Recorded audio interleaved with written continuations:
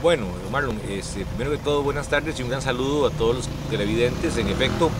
parte de los esfuerzos de gobierno este, por procurar un ambiente de paz en los territorios indígenas que eh, se encuentran en la zona sur. Definitivamente estamos buscando soluciones y salidas para que todas las, personas puedan eh, obtener la más eh, óptima y pronta solución a los conflictos que en este momento están atravesando creemos firmemente que el diálogo es lo que se debe imponer ante este, semejantes altercados tan violentos eh, la participación de la fuerza pública ha sido fundamental para mantener el orden y como siempre hemos instado a un ambiente de diálogo y de conversación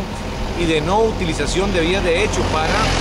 este, reivindicar lo que se consideran derechos. Para eso existen los tribunales de justicia, para eso existen los tribunales administrativos que pueden procurar una mejor defensa de los derechos humanos de cada uno de los habitantes de este país sin necesidad de acudir a medios violentos que nos tienen otra vez una vez más acá en el Cantón de Buenos Aires, uno de los que más hemos visitado precisamente por estos eventos bochornosos.